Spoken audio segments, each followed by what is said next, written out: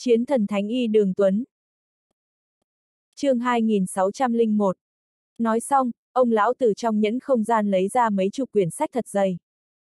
Ông đặt những cuốn sách này trên một cái bàn và nói, bây giờ cậu đã đến thần quốc, tốt hơn là nên biết một số điều ở đây. Và danh tính của cậu, tôi sẽ không nói với ai khác, cậu tốt hơn cũng không nên nói ra ngoài. Một khi để cho những siêu cấp thế gia kia biết cậu đến từ bên ngoài, chỉ sợ sẽ ra tay với cậu. Nói xong những lời này thì ông lão rời đi. Đường Tuấn nhìn bóng lưng ông lão đi xa, trầm mặc hồi lâu. Cuối cùng anh ngồi xuống bàn và bắt đầu đọc những cuốn sách. Phải mất hai ngày, đường Tuấn mới đọc xong những quyển sách này. Nơi này đích thật là Chu Tước Thần Quốc, là thần quân Chu Tước mở ra thế giới nhỏ. Chu Tước Thần Quốc tổng cộng có 9 châu lớn, khống chế những châu lớn này là một đám thế gia. Trong Chu Tước Thần Quốc, thực lực cường đại nhất là ba thế gia lớn đường, hải, diêm. Trong ba thế gia lớn này đều có người tu hành động hư cảnh đỉnh phong chấn giữ. Audio điện tử võ tấn bền. Mà động hư cảnh đỉnh phong, cũng là chiến lực cường đại nhất thế giới này. Nếu nơi này là thần quốc của Chu Tước Thần Quân, vậy bí tàng hẳn là cũng ở chỗ này. Chỉ là nó ở đâu? Đường Tuấn trầm ngâm trong lòng. Anh vốn khởi động chìa khóa bí tàng Chu Tước Thần Quân là vì chạy chối chết, vô tình thần quân bí tàng. Nhưng hiện tại chìa khóa biến mất, mà biện pháp duy nhất rời khỏi thần quốc rất có thể nằm trong bí tàng của thần quân. Suy nghĩ một lát, đường Tuấn đành phải bất đắc dĩ buông tha. Với thực lực và tình trạng thân thể hiện tại của anh, đừng nói đi cướp đoạt bí tàng thần quân, chỉ sợ vừa ra khỏi thôn thạch sẽ bị các loại mãnh thú giết chết.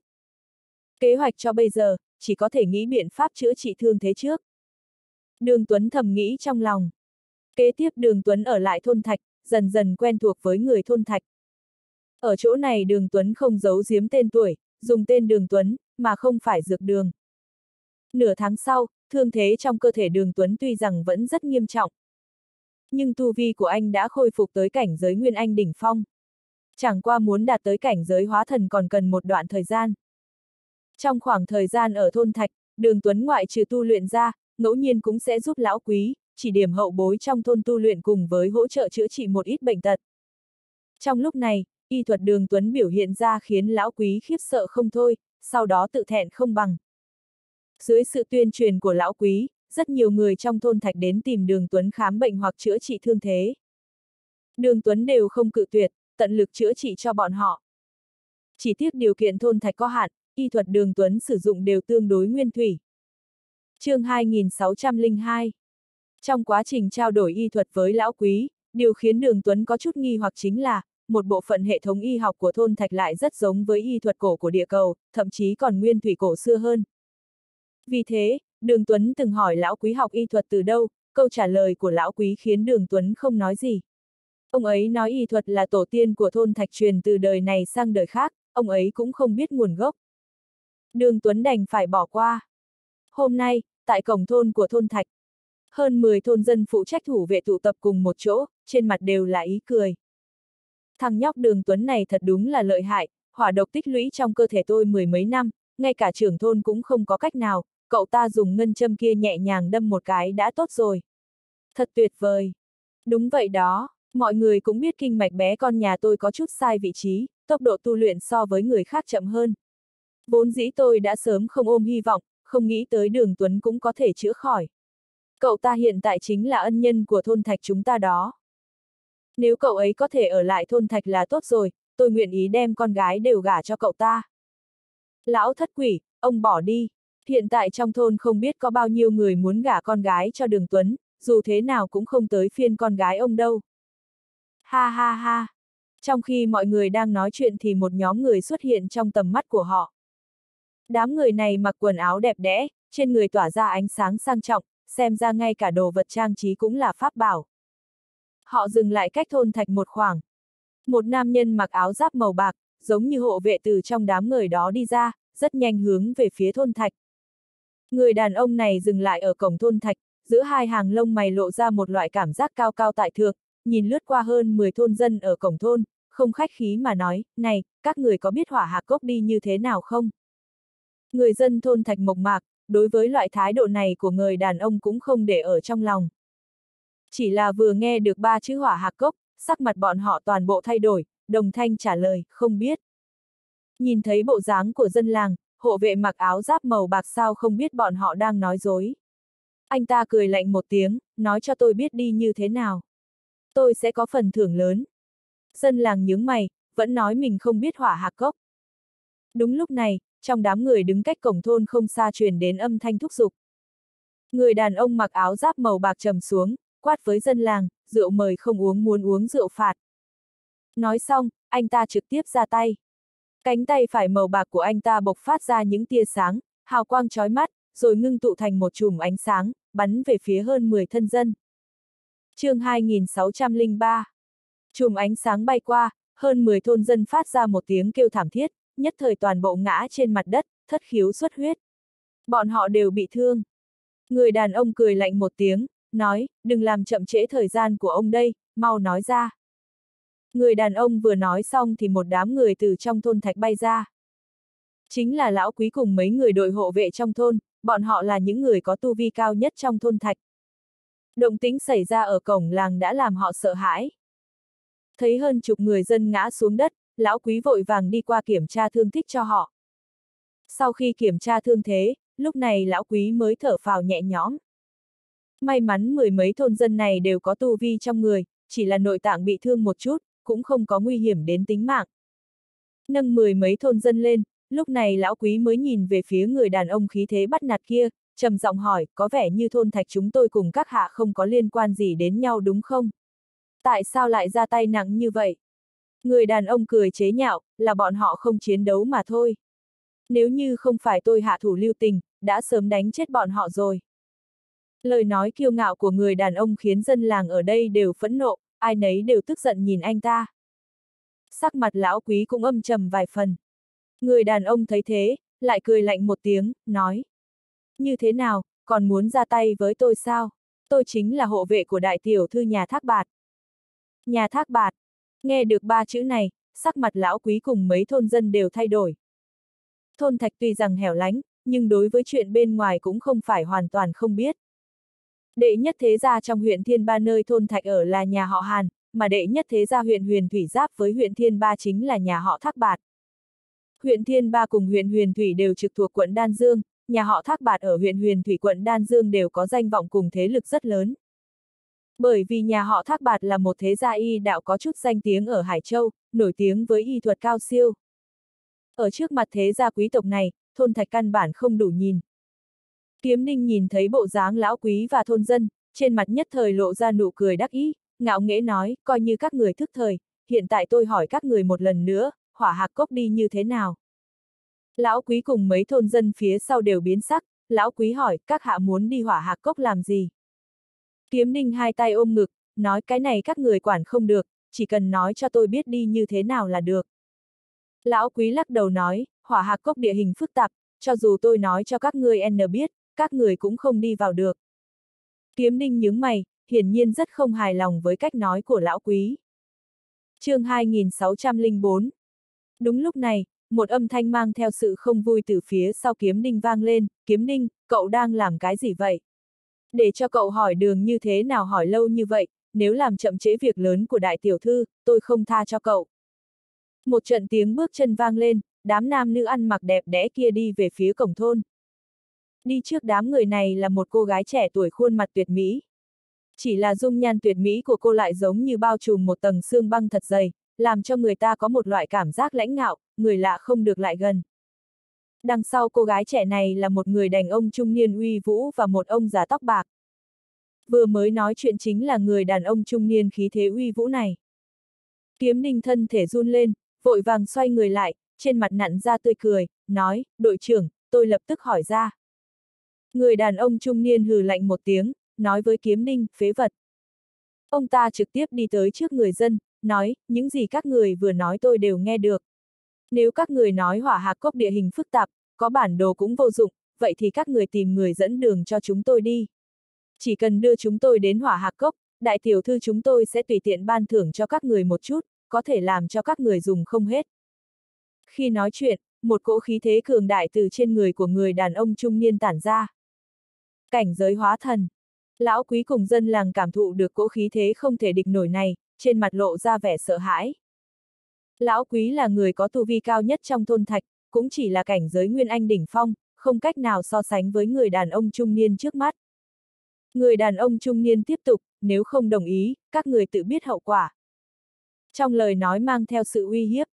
Lão quý trầm mặc một lát, sau đó nói, hỏa hạc cốc thật sự không thể đi, tổ tiên thôn thạch tôi mấy trăm năm trước từng đi vào một lần, thật vất vả mới còn sống đi ra.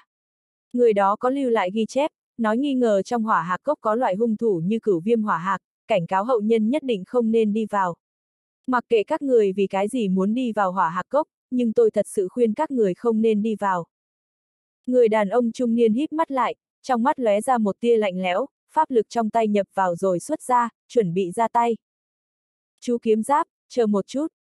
Đúng lúc này, cô gái trẻ giống như tảng băng trôi kia nói chuyện.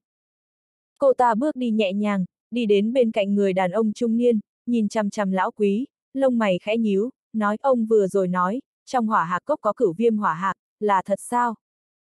Lão quý gật đầu thật mạnh, nói, đây là ghi chép của thôn thạch chúng tôi, hoàn toàn đúng.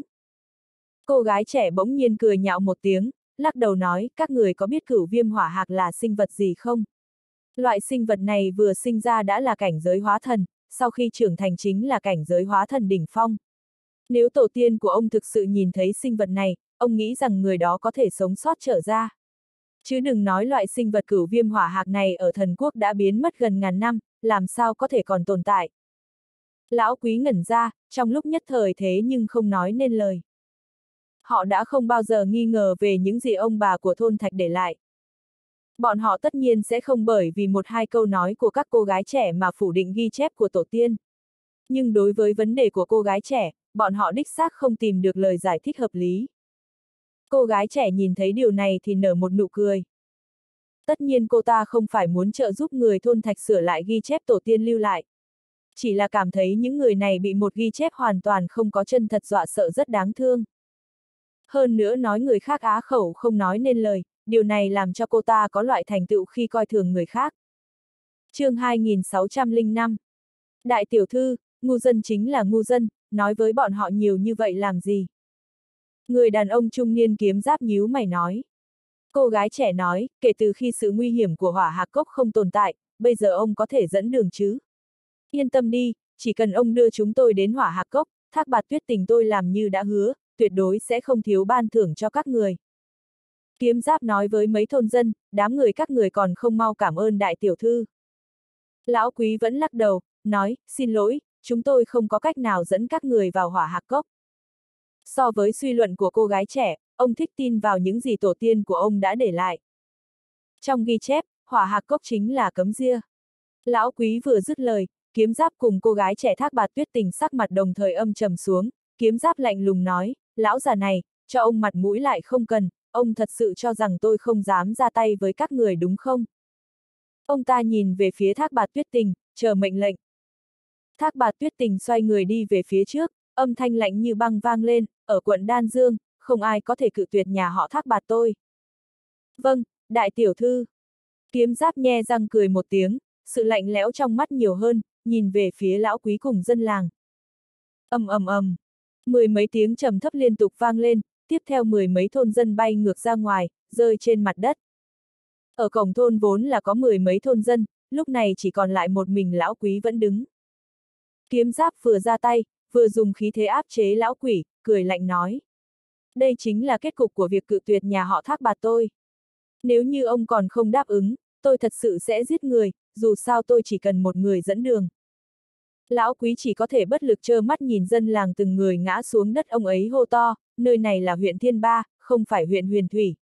Nếu như thôn thạch tôi xảy ra chuyện, nhà họ Hàn sẽ tính sổ với các người. Nhà họ Hàn, đệ nhất thế gia của huyện Thiên Ba. Thôn thạch hàng năm đều nộp bảo vật nhất định với nhà họ Hàn. Mà nhà họ Hàn nhất định phải che chở thôn thạch.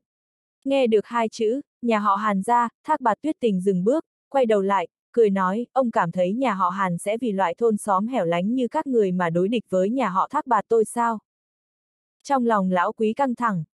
Nhà họ thác bạt là đệ nhất y đạo thế gia trong quận Đan Dương, bất luận là tài lực hay là nhân mạch đều không phải thứ nhà họ Hàn có thể so sánh được.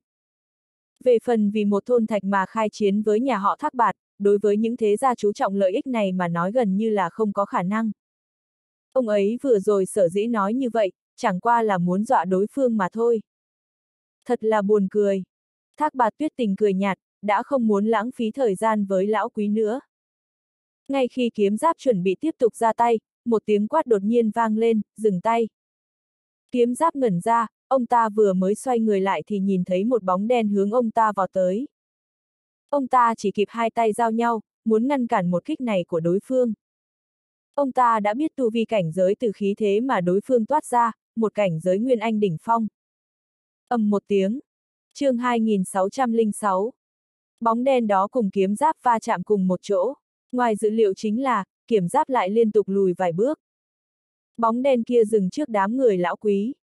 Kiếm giáp cùng thác bạt tuyết tình lúc này mới thấy rõ ràng, người tới là một người đàn ông trẻ tuổi, trên người mặc quần áo vải thô, khuôn mặt coi như là thanh tú, thoạt nhìn không khác gì người thôn thạch. Đường Tuấn. Lão quý cùng mấy thôn dân nhìn thấy người tới, trên mặt đồng thời lộ ra vẻ vui mừng. Người đàn ông trẻ tuổi này tất nhiên chính là Đường Tuấn. Đường Tuấn nhìn thấy trên người dân làng đều mang theo thương thế nhẹ hoặc nặng, trong lòng hơi giận.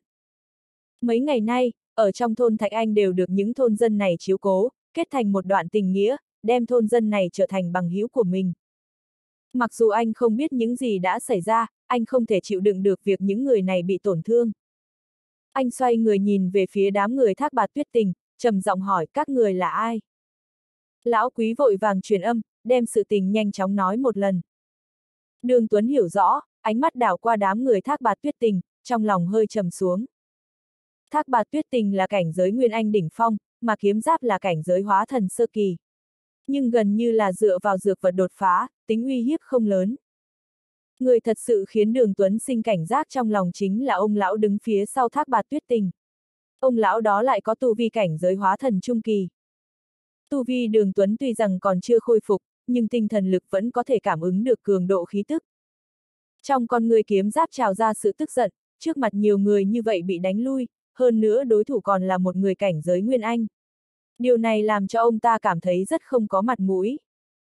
Ông ta trầm giọng nói, đại tiểu thư, để cho tôi giết chết thằng nhóc túi này. Đường Tuấn lại không để ý sát ý của kiếm giáp, mà nói với thác bạt tuyết tình, các người muốn đi hỏa hạc cốc, tôi có thể dẫn đường cho các người. Lão quý không giấu giếm với anh. Thời gian này điển tịch trong thôn gần như anh đều nhìn qua, biết có một chỗ như hỏa hạc cốc. Anh thậm chí đã chuẩn bị tốt tính toán tìm thời gian đi hỏa hạc cốc. Bởi vì trong hỏa hạc cốc có rất nhiều dược liệu có thể giúp anh trị thương. Cảnh giới hiện tại của anh ngay cả cảnh giới hóa thần cũng không tới. Nếu có đám người thác bạt tuyết tình đồng hành, anh có thể hạn chế được rất nhiều phiền toái. Đám người lão quý lại không biết tính toán của đường Tuấn. Cho rằng đường Tuấn là bởi vì nguyên nhân của bọn họ mới đi hỏa hạc cốc mạo hiểm. Bọn họ muốn khuyên can đường Tuấn, lại bị đường Tuấn dùng ánh mắt ngăn lại, để cho bọn họ không cần nói nữa. Thác bạt tuyết tình nghe vậy, trên mặt lộ ra ý cười, nói cuối cùng cũng gặp được một người nghe lời. Chuyện vừa rồi anh ra tay với chú kiếm giáp tôi cũng không so đo. Anh thu dọn một chút, chúng tôi lập tức muốn đến hỏa hạc cốc. Kiếm giáp nhất thời cảm thấy trong lòng không vui, nói, đại tiểu thư. Thác bạt tuyết tình nhất thời ý cười thu liếm, nói kiếm giáp thúc, lui ra. Kiếm giáp ngẩn ra, chỉ có thể không cam lòng lui về. Tuy thác bạt tuyết tình xưng hô chú kiếm giáp với ông ta. Nhưng ông ta biết rõ thân phận của mình, ông ta chỉ là đội trưởng của thập nhị kiếm vệ của nhà họ thác bạt, thực lực như ông ta, nhà họ thác bạt còn có không ít. chương 2607 Nghĩ thông suốt những điều này, kiếm giáp chỉ có thể đè nén lửa giận trong lòng, oán hận nhìn đường Tuấn một cái, sau đó mới đi trở lại trong đám người. Đám người thác bạt tuyết tình cũng không vào thôn, nghỉ ngơi cách thôn không xa, có thể thấy rõ tình huống trong thôn. Đường Tuấn, anh không cần phải làm cho chúng tôi như vậy. Hỏa hạc cốc kia thật sự quá nguy hiểm, cho dù là người tu hành cảnh giới hóa thần đi nữa cũng không nhất định có thể toàn thân trở ra. Lão quý và mọi người đều lộ vẻ ái náy. Đường Tuấn an ủi đám người lão quý, ngược lại làm cho bọn họ càng thêm khổ sở. Cuối cùng đường Tuấn không giải thích thêm nữa. Anh bắt đầu vì đám người lão quý xem xét thương thế, biểu tình trên mặt dần dần ngưng tụ xuống, hỏi, lão quý, là ai đã thương mọi người? Lão quý nói, là kiếm giáp cùng kiếm đinh. Bọn họ là thập nhị kiếm vệ của nhà họ thác bạt, chuyên môn bảo vệ an toàn của thác bạt tuyết tình, người đừng làm bậy. Kiếm giáp, kiếm đinh. Đường Tuấn ghi lại tên hai người. Mà cách cổng thôn không xa, đám người thác bạt tuyết tình cũng đang quan sát bọn đường Tuấn. Hình như anh ta còn là bác sĩ. Ông lão bên cạnh thác bạt tuyết tình híp lại, bỗng nhiên nói. Ông ta nhìn thấy hình ảnh đường Tuấn chữa trị thương thế cho đám người lão quý. Thác bạt tuyết tính cũng nhìn thấy một màn này, thản nhiên nói, xem ra là thật, chỉ là loại thủ pháp trị liệu này quá thô giáp, ngay cả người học nghề cấp thấp nhất nhà họ thác bạt ta cũng không bằng. Ông già gật đầu. Nhà họ thác bạt là y đạo thế gia, mà thác bạt tuyết tình lại là người nổi bật trong tộc, đích xác có tư cách nói ra loại đánh giá này. Ông lão nhíu mày, nếu anh ta là bác sĩ, lại biết chúng ta đến từ nhà họ thác bạt, có thể hay không? Thác bạt tuyết tình lạnh lùng nói, nếu anh ta thật sự dẫn chúng ta đi hỏa hạc cốc, có lẽ tôi có thể để anh ta vào nhà họ thác bạt làm một người học nghề. Nếu anh ta có bất kỳ tâm trí khác, đừng đổ lỗi cho tôi. Um, ông lão nhẹ giọng đáp. Đối với quyết định của thác bạt tuyết tình, ông ta vẫn luôn rất yên tâm. Qua gần một canh giờ, đường Tuấn cùng người trong thôn đơn giản cáo biệt một chút, rồi mang theo đám người thác bạt tuyết tình đi về phía hỏa hạc cốc. Sau khi biết đường Tuấn quyết định đi hỏa hạc cốc thì lão quý đem toàn bộ chuyện mình biết nói cho anh biết. Ở vùng ngoại ô hẻo lánh, một nhóm người đang trên đường đi. Đi ở phía trước chính là đường Tuấn, bọn họ rời khỏi thôn Thạch đã một ngày rưỡi, cách hỏa hạc cốc đại khái còn có ba ngày đi đường. Thần quốc rất lớn, dựa theo miêu tả của lão quý, đường Tuấn rút ra một kết luận, thần quốc gần bằng một phần ba diện tích của tinh vực Chu Tước. Điều này làm cho đường Tuấn có chút khiếp sợ. Phải biết rằng thần quân Chu Tước chỉ là cảnh giới độ kiếp, còn không phải cảnh giới. Tôn giả cảnh, mà xây dựng ra thần quốc lớn như vậy. Tôn giả kia thì xây dựng ra thần quốc khổng lồ cỡ nào? chương 2608 Cảnh giới Nguyên Anh ở thần quốc đều không có năng lực bay. Dựa theo lão quý nói, nhất định phải có thực lực cảnh giới hợp thể mới có thể bay trên không trung. Nồng độ nguyên khí của trời đất thần quốc so với thế giới bên ngoài không sai biệt lắm, chỉ là các loại pháp tác vận dụng so với thế giới bên ngoài kém hơn một chút. Chuyện này rất bình thường, dù sao thần quốc đã phong tỏa mấy vạn năm. Nói về mức độ phát triển của phép thuật, làm thế nào có thể so sánh với thế giới bên ngoài. Đường Tuấn phỏng trừng, những người tu hành động hư cảnh trung kỳ như Tần Thiên thậm chí có thể ngang tài với động hư cảnh đỉnh phong. Bí mật của thần quân cất giấu ở đâu, có phải đã bị người ta phát hiện hay không? Đường Tuấn một mình đi ở phía trước, pháp lực trong cơ thể tự vận chuyển, vừa dẫn đường, vừa nghĩ trong lòng về vấn đề này. Dù sao thần quốc phong tỏa mấy vạn năm, rất nhiều địa phương chỉ sợ đã sớm bị thăm dò qua. Bí tàng thần quân bị phát hiện cũng rất bình thường. Anh có một chút lo lắng. Một khi sự tình thật sự như ảnh tưởng tượng, vậy địch nhân anh sắp phải đối mặt rất có thể là mấy thế gia đứng đầu thần quốc, có được sức chiến đấu đỉnh cao của động hư cảnh.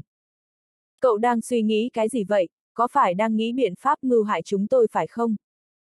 Đúng lúc này, một thanh âm có chút lãnh khốc vang lên phía sau lưng đường Tuấn. Tiếp theo, một bóng người nhanh chóng tiến lên, đi tới bên cạnh đường Tuấn, dùng một loại thanh âm rất nhỏ nhưng tràn ngập sát ý nói, nhóc con, trong lòng cậu đang suy nghĩ cái gì tôi đều rất rõ ràng. Cậu cẩn thận với tôi, nếu để tôi bắt được nhược điểm của cậu là làm điều xấu, cậu sẽ chết. Đường Tuấn nhìn người nói chuyện, ánh mắt lóe lên sự lạnh lẽo. Người này chính là kiếm giáp, lần này là đội trưởng của thập nhị kiếm vệ phụ trách bảo vệ an toàn cho thác bạt tuyết tình. Từ sau khi đường Tuấn bắt đầu dẫn đường cho đám người thác bạt tuyết tình, kiếm giáp không muốn thấy anh, những lời tương tự đã nói không dưới 10 lần. Đường Tuấn biết, kiếm giáp là bởi vì giao thủ với mình mất mặt, muốn tìm kiếm cơ hội báo thù. Đối với việc này, đường Tuấn lười tranh luận với ông ta. Kiếm giáp làm tổn thương nhiều thôn dân mộc mạc như thôn thạch, cho dù kiếm giáp không tìm anh, sớm muộn gì đường Tuấn cũng sẽ khiến ông ta phải trả giá đắt. Tôi mệt rồi, nghỉ ngơi một chút đi. Đường Tuấn thản nhiên nói. Một lát sau, ngồi xuống một tảng đá lớn ven đường, nhắm mắt dưỡng thần. Cậu! Trên mặt kiếm giáp lộ ra tức giận, trầm giọng nói, lúc này thời gian mới một ngày rưỡi, cậu đã nghỉ ngơi 7-8 lần. Đối mặt với việc chất vấn kiếm giáp, đường Tuấn ngay cả mắt cũng không mở ra, bộ dáng an tâm nghỉ ngơi. chương 2609 Được rồi, chú kiếm giáp. Ngay khi kiếm giáp tức giận không thể dừng lại, một thanh âm mang theo uy nghiêm vang lên. Người nói chuyện chính là thác bạt tuyết tình. Lúc này, khuôn mặt xinh đẹp của cô ta tựa như xương, lạnh như băng, sâu trong mắt tràn ngập lửa giận. Cho dù kẻ nào cũng có thể nhìn ra tâm tình cô ta lúc này rất kém. Kiếm giáp cả người giật mình, vội vàng đi về phía trước thác bạt tuyết tình. Chú kiếm giáp, chú cảm thấy tính mạng của tôi quan trọng hơn, hay là để chú tìm lại mặt mũi quan trọng hơn? Thác bạt tuyết lạnh lùng hỏi. Kiếm giáp vội vàng nói, kiếm giáp không dám. Thanh âm thác bạt tuyết tình lộ ra cảm giác lạnh lẽo, nói, chú còn biết không dám, vậy vì sao chú còn muốn nói những lời kia với anh ta? Chú tìm anh ta một lần thì anh ta cố ý nghỉ ngơi một lần. Rõ ràng là dùng phương pháp này để đối kháng chú, chú vẫn tìm anh. Cứ tiếp tục như vậy, phải mất bao lâu mới có thể đến hỏa hạc cốc? Nếu tôi phát bệnh thì làm sao bây giờ, chú kiếm giáp có thể phụ trách sao? Kiếm giáp vội vàng cúi đầu, run giọng nói, đại tiểu thư tha mạng, kiếm giáp không dám. Ông ta chỉ lo tìm đường Tuấn gây phiền toái, lại quên mất những thứ này. Nếu lại có lần sau, chú tự biết hậu quả. Thác bạt tuyết tình nói. Kiếm giáp gật đầu đáp lại, khóe mắt nhìn lướt qua đường Tuấn, tràn ngập hận ý. Ông ta không dám phản bác thác bạt tuyết tình, chỉ có thể đem lửa giận chuyển đến trên người đường Tuấn, thầm nghĩ, chờ đến hỏa hạc cốc, xem tôi làm sao giết chết cậu. Thác bạt tuyết tình lúc này mới nhìn về phía đường Tuấn, ánh mắt quyến rũ híp lại, chú nói, chú Hồng, chú cảm thấy anh ta thật sự có thể dẫn chúng ta đến hỏa hạc cốc sao? Ông lão bên cạnh cô ta vuốt râu trắng, cười đáp, ít nhất cho đến bây giờ, anh ta cũng không xuất hiện bất kỳ sai lệch nào. Tuy rằng loại thủ đoạn đối phó kiếm giáp này có chút ấu trĩ, nhưng dựa vào chút tu vi cuối cùng của anh ta cũng chỉ có thể dùng loại thủ đoạn này biểu đạt bất mãn của mình. Chẳng lẽ đại tiểu thư nhà họ thác bà tôi còn sợ loại nhóc con xù lông này sao? Thác bà tuyết tình khẽ cười ra tiếng, nói chú Hồng nói đúng. Tôi quá nóng vội, một thằng nhóc lông lá từ thôn xóm hẻo lánh đi ra, cho dù thật sự có ý nghĩ gì, chẳng qua là chuyện lật tay là chấn áp được. Thật sự không đáng hao tổn tinh thần. Cô biết là tốt rồi. Chú Hồng thở dài, nói, hiện tại tôi lo lắng trong hỏa hạc cốc có thật sự có loại báu vật trời đất hỏa linh chi này hay không? Nếu như không có, vậy hàn độc trong cơ thể cô. Sắc mặt thác bà tuyết tình cũng nhất thời ngưng trọng, nắm chặt tay, ánh mắt kiên định nói, nhất định có. Mấy người khi nói chuyện đều thiết lập kết giới cách âm xung quanh, tránh bị đường Tuấn nghe được. chương 2610 Đường Tuấn lúc này cũng không rảnh để ý tới những gì bọn họ đang nói. Sau khi đi tới thần quốc thì thân thể anh bị trọng thương, trong khoảng thời gian ở thôn Thạch Anh càng khổ tu không ngừng. Tuy rằng chữa trị chậm chạp, nhưng giờ phút này rốt cục cũng có tiến triển thực chất. Theo pháp lực trong cơ thể phát ra một tiếng nổ vang, tiếp theo một cỗ lực lượng so với lúc trước càng thêm cường đại hơn sinh ra. Ánh mắt đường Tuấn đột nhiên mở ra, sâu trong mắt thần quang lóe lên, sau đó bình tĩnh trở lại. Trên mặt anh lộ ra vẻ vui mừng, tu hành lâu như vậy, cuối cùng cũng đột phá đến cảnh giới hóa thần. Mặc dù chỉ là cảnh giới hóa thần sơ kỳ, nhưng bằng vào rất nhiều phương pháp của anh, hẳn là gần như có thể so với cảnh giới hóa thần hậu kỳ của thế giới này. Đến giờ phút này, trong lòng anh mới hơi yên ổn một chút. Loại thực lực này ở trong thần quốc miễn cưỡng xem như có sức lực tự bảo vệ mình. Bởi vì là khôi phục tu vi, cho nên cũng không có tạo ra bất kỳ động tĩnh gì. Đám người thác bạt tuyết tình chỉ quan tâm đến báu vật trời đất trong hỏa hạc cốc, lại càng không chú ý đến biến hóa của đường Tuấn.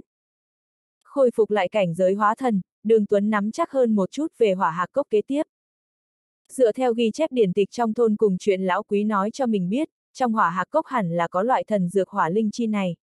Nếu như có thể đạt được hỏa linh chi, thương thế của mình có thể khôi phục nhanh hơn rất nhiều. Trong lòng đường Tuấn khẽ động.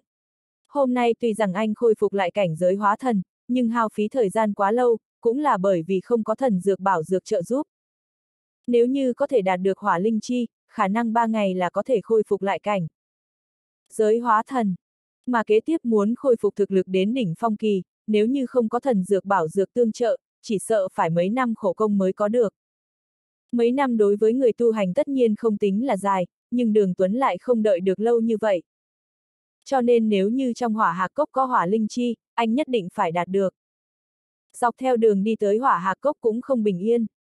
Địa phương bọn họ đi qua gần như đều là vùng hoang dã, thường xuyên có hung thú tấn công. Nguy hiểm nhất chính là một con chim khổng lồ cảnh giới hóa thần trung kỳ từ trên cao lao xuống, khí thế kinh người của nó làm cho rất nhiều người trong đội hộ vệ nhà họ thác bạt bị dọa sụi lơ trên mặt đất. Kiếm giáp cũng lộ ra vẻ mặt hoảng sợ. Cuối cùng chú Hồng đã ra tay chú Hồng há mồm, một tia bạc từ trong miệng ông ta bắn ra. Trên bầu trời nhất thời hào quang rực rỡ, trói mắt vô cùng. Tất cả mọi người đều không mở được mắt. Chờ khi bọn họ khôi phục lại thị lực, con chim lớn cảnh giới hóa thần trung kỳ kia đã ngã trên mặt đất, từ đầu đến cuối bị chém thành hai nửa, máu tươi chảy ra như dòng suối nhỏ. Audio điện tử võ tấn bền. Hết chương 2610.